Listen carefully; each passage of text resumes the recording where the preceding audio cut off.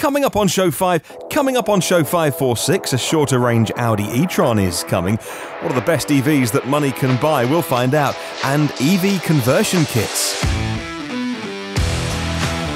Those stories and many more. We're also talking about a new company called Fresco Motors, BP investing in charging infrastructure, a new plug-in coming from Vauxhall, and much more. Thank you for listening today. My name is Martyn Lee. Good morning, good afternoon, or good evening, wherever you are in the world. Your edition for Friday, 2nd of August. Uh, this is what you've missed in the last 24 hours. Thank you to myev.com for helping me make this show.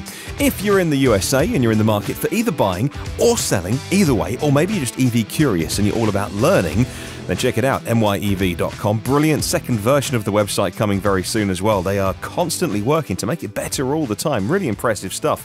Thank you to a new Patreon supporter, Dave Martin, who signed up in the last 24 hours as a new supporter. Dave Martin, thank you. And if you're a Patreon supporter, well, you would have been billed on the first of the month. So thank you very much for your continued support. Names coming on Sunday as always. A new shorter range Audi kicks us off then with the news today. And Audi's already introducing a new version of its e-tron Quattro electric SUV in Europe with smaller batteries. It's going to be a short range model with a 71 kilowatt hour battery pack in place of the Big Brother 95 kilowatt hour battery pack, says Green Car Reports. Well, Audi confirmed that the new model won't be sold in the US. It's only going to be in Europe, and here it'll be rated for 186 miles on the WLTP test cycle versus 249 for the larger one. Well, the e-tron 50, as it's going to be called, as opposed to the e-tron 55. The e-tron 50 won't get quick charging. They're not giving it 150 kilowatt charge speeds that the other e-trons are known for. Though with a smaller battery, they say that you won't need to charge it as quickly because it would fill up quicker naturally. Well, the e-tron Quattro is the first car on the market capable of using 150 kilowatt CCS DC fast chargers, being installed installed by anything non-Tesla in Europe and the US. No, the e-tron 50 can charge up to 120. Well, that's still about 100 miles of range in 30 minutes. The e-tron 50 will have a smaller motor as well, 308 horsepower rather than 402. Audi says acceleration will be 0 to 60 in 7 seconds. Top speed 118 miles an hour. Deliveries of the new model are expected to start in the first quarter of 2020 including here in the UK. It's going to cost about $12,000 or £10,000 less than the Big Brother e-tron 55. Lots of things, if I editorialise this a bit from my personal opinion, that could be going on here. The research shows that people aren't buying the car that's more expensive and they needed to bring something to market quickly, but the plans would have been in the pipeline for years on this, so it's not a knee jerk. But also, you wonder if it's partly to do with the battery shortage for everyone but Tesla, and simply making cars with smaller batteries means you get to make more cars. And I imagine the margin of making a car is better than making one car with a bigger battery sell, you know, the proportion of, of more cars, but with smaller batteries, and well, you could make more money. I don't know, but there is a battery shortage happening in the world, and it makes sense. Look, a lot of this is as well. I know that there's Halo cars, and people will say, oh, the e Tron itself, the original one wasn't good enough. Now they're making an even smaller one with even shorter range. What will the efficiency be like? It's about use case, right? If you only ever do 150 miles or 200 miles round trip commute, what's the problem? It's got 186 miles on the WLTP test cycle from a 71 kilowatt hour pack. Again, that's not great. You're talking the kind of mileage that some people get out of their small city cars, like the Renault Zoe, from a 40 or 41 kilowatt hour pack. Similar kind of mileage. Anyway, uh, we'll wait to see when we get more news about that smaller Audi e Tron, the e Tron 50. Big news. Always big news when we get news of a new car coming. And uh, no doubt that over coming days and weeks and months, you and I'll chew this one over a little bit more. But let's move on with the news. Great Business Insider article that I found today all about 11 of the most powerful EVs that money can buy. If money's no object, what would you buy? In no particular order, we'll start with the NIO EP9. This is first on the list. The car has a top speed of 195 miles an hour, 1,341 horsepower, 0 to 60 in 2.7. Six of the 16 have been sold already at $1.2 million each. Wow. Moving on to the Tesla Model S. Performance 0 to 60 even quicker, 2.4. Tesla says top speed of 163. And if you're going the performance version, what's that now? 345 odd miles? I know it changes every so often. Uh, of the current performance Model S.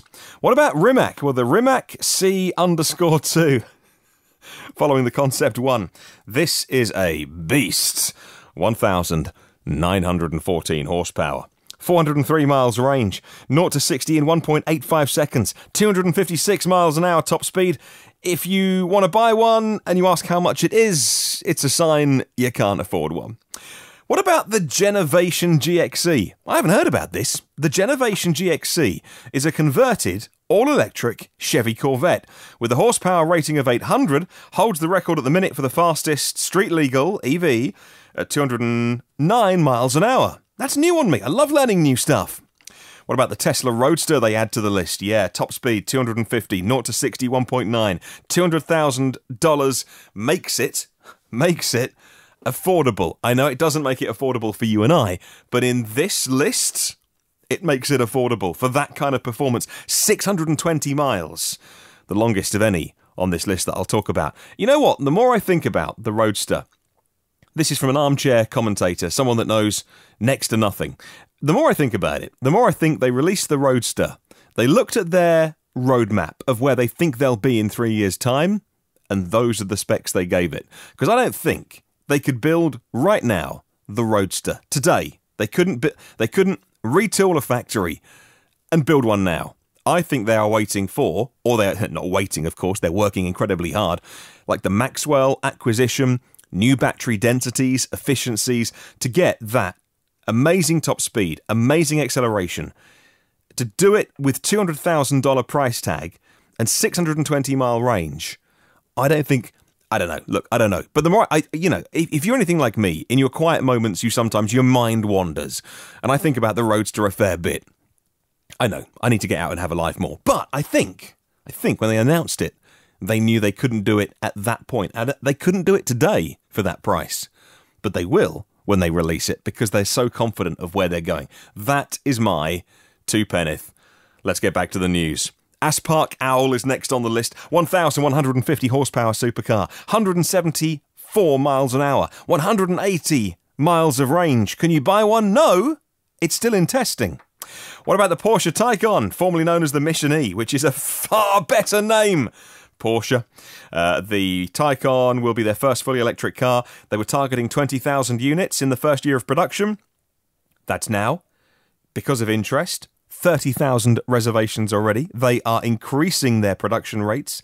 And what about the Dendrobium D1, another one on the list that I hadn't heard of. If we're doing some dreaming of cars we can't afford, the Dendrobium D1 is the first in a series by Dendrobium Automotive. The car debuted in 2017 at Geneva and made an appearance at last year's 24 Hours of Le Mans event. I know nothing more about it. Could be vaporware. We wish them the best. Pininfarina Battista, a 1,900 horsepower car from Automobili Pininfarina. 0 to 60, under two seconds. North America had 50 allocated. Half of those have been bought already. $2.5 million price tag. Start looking down the back of the sofa for some spare change. Right, two more. The Aston Martin Rapide E. Now, the Rapide is a car that perhaps is a little bit long in the tooth for some, but it's their first fully electric vehicle from Aston Martin. 612 horsepower, 155 miles an hour, 0 to 64 seconds. In this list, it looks slow. And finally, the Lotus Evija. Although the company haven't released the final specs, it's a Lotus. It's a track car. 2,000 horsepower is the target, 0 to 60 in under 3 seconds, top speed of over 200. It's a Lotus. It's going to be a track car, but going to be great on the road as well. Looking forward to finding out more about all of those cars, especially the ones that were kind of new to me as well. Hey, let's just juggle the order of the stories around. I'm going to bring this next story up the list slightly because I mentioned new automakers that I hadn't heard of. I've got another one here Fresco Motors. Have you heard of them? Because I haven't. Fresco Motors are Norwegian. The Norway based EV startup have unveiled a new electric saloon car, sedan car, with specs that are making me suspicious. Well, according to Electrek, it's an all electric saloon car with a radical design that's reminiscent of the original Model S prototype nose cone, a Chrysler 300 towards the back. It's called the Reverie. The Fresco Motors Reverie will be able to accelerate 0 to 60 in 2 seconds. Okay, big claim. Top speed of 186. Okay, big claim. And it's going to do that, they say, with an AC induction motor and a four speed automatic gearbox with what's called overdrive. They're a startup. They say the vehicles come with a wireless charging pad. Can we have a look at one of the vehicles? Apparently not yet. Again, vaporware is a very dismissive, derogatory term. I hate it. It does, though, in a form of shorthand, remind people that some people are building EVs and some people are talking about building EVs. And again, this car has unbelievable specs. A four-speed gearbox in an EV this powerful? Didn't the early Teslas weren't was it either the Roadster or Model S? At some point in their past, Tesla have gone down the road of a two-speed gearbox. And when you have such high performance, they just couldn't make or source a gearbox that could cope with the torque. And then they went down to a single speed uh, gearbox because they couldn't make two speed work. So, you know, time's moved on, technology's moved on. Good luck to anyone talking about a four speed gearbox on an EV with those kind of specs. Let's talk about charging. And BP has announced that together with Didi Chuxing, uh, it's going to establish a new joint venture, going to build a charging infrastructure in China, according to Inside EVs. The starting point for the new network will be a pilot station installed by two partners in Guangzhou, equipped with 10 DC fast chargers. They're going to charge between 60 and 120 kilowatts. The plan envisions charging hubs across the country and rapid expansion of the network to meet the needs of the world's largest EV market. New charging stations used both by Didi's drivers and the general public. A reminder then how they describe themselves from Didi. They say online, Didi is the world's leading multimodal transportation platform, offering users a full range of app based options, including ride hailing, automobile solutions sharing, and other services. Its platform already has 550 million users and 600,000 EVs well, I mean, when you say EVs, I should say plug in cars, but 600,000 plug in cars on the road in China. I'll pop a link to Inside EVs in the show notes. Well, Volvo Cars, another Chinese company, eh, needs a regular supply of cobalt because of EV batteries. However, the cobalt that gets all of the attention, and it is a tiny percentage, by the way, of the cobalt, cobalt used in the world, tiny, tiny, but it's still too much, is primarily obtained from the Congo, which presents a massive social problem for EV users. Statistically, there was a time when two thirds of the world's cobalt was from the Congo, according to CoinFin or CoinFine News. Uh, Volvo has since deployed blockchain technology. They use the blockchain to map the source of the cobalt from all of their factories. Moreover, Recycled cobalt in China is a source for which Volvo's benefiting to make EVs. Blockchain technology is now being used by Volvo to verify the source of the cobalt. It's joined a project with the government to monitor the cobalt from the Democratic Republic of Congo and, of course, any kind of child labour in the DRC where cobalt, cobalt comes from is, of course, something that everybody should be pedaling as fast as they can towards completely eliminating. Any big company, it gets thrown in EV drivers' faces a lot, like, oh, where do the rare earth metals come from? We're going to run out after 100,000 cars. We're not, but there is a very genuine concern about a very, very small percentage. And again, a lot of the big car makers that worry about where their materials come from have already changed many of their supply chains. But there are still companies making, I'm not sure about EVs, but certainly in those lithium ion batteries, that still happens, and we need to get to a solution as quick as possible. It is not acceptable, that situation. And you can say, you know, and mitigate it. Oh, it's in the it's a tiny percentage in the single figures these days, but still, that's too much. Let's talk Vauxhall, or maybe you would say Opel. They've opened the order books for their first mainstream plug-in hybrid. The Grandland X is a four-wheel drive hybrid, according to Car Scoops. Prices for the new Grandland X start from £35,590 in the UK for the entry level and includes three other grades. The SRI is 40,300, the Elite Nav is 42,200, and the range topping Ultimate is 45,450. You got 196 horsepower turbocharged four cylinder engine, and you've got two electric motors of 108 horsepower each. and that is a 13.2. Sorry, between them it must be 108 horsepower. That otherwise that would be crazy power. Uh, yeah, I imagine that is what 54 horsepower each on the motors. 13.2 kilowatt hour battery pack. The second electric motor is on the rear axle, so you got four wheel or all wheel drive on the Grandland X. The front is connected to the engine's eight speed automatic transmission. You know that's not a crazy amount of money for a big family car, but it is a reminder new cars are expensive. £45,450 for the range topping Vauxhall or an Opel Grandland X. It's not the biggest car in the world. That's a lot of money. That is a lot of money. I guess most people just buy their cars on finance these days. It's why I drive small, little, cheaper cars. Just because if you're looking at your monthly payment, then all of a sudden £45,000 doesn't seem like real money, but it, it really is, isn't it? And it's like, wow, that's so much. And, and put that in the perspective of something like a Tesla Model Y that's coming, that'll be pure electric. And for £45,000, well, in my mind, it's a no brainer, but lots of people aren't ready for full EVs yet, so I get that. We talked about Rimac earlier on today. There's going to be the official debut of the new C underscore 2. With prototypes now in production, the Rimac C2 will take its final shape and first customers' cars will be delivered early next year. Mate Rimac said this, we are very... Is that how I say his name? Mate? I heard someone say it differently, and it made me think I've been saying his name wrong all this time. Anyway, Mr. Rimac. Uh, he said, We are very excited to be back at the Salon Privé, uh, celebrating automotive history and bringing a taste of the future. 2012 was when the Concept 1 was unveiled at Salon Privé, the world's first all electric hypercar. Uh, this time around, the new C2 is going to be on show, but what about the specs for it? Now, it's all confirmed 120 kilowatt hour battery pack, 1.4 megawatts of energy can be pulled from it. Thermal management is off the charts to keep this thing cool. Uh, top speed of 258 miles an hour, 0 to 61.85, 0 to 100 in 4.3. That doesn't make any sense to my brain. 0 to 100 miles an hour, which is 161 k's, 4.3 seconds. It probably takes me 4.3 seconds to say it slowly, like I did just then, and you're doing 100 miles an hour. Instant torque, crazy traction, a unique drivetrain, and even custom made bespoke tyres to cope with the power. You can even keep accelerating if you want to, all the way through to 186 miles an hour in less than 12 seconds.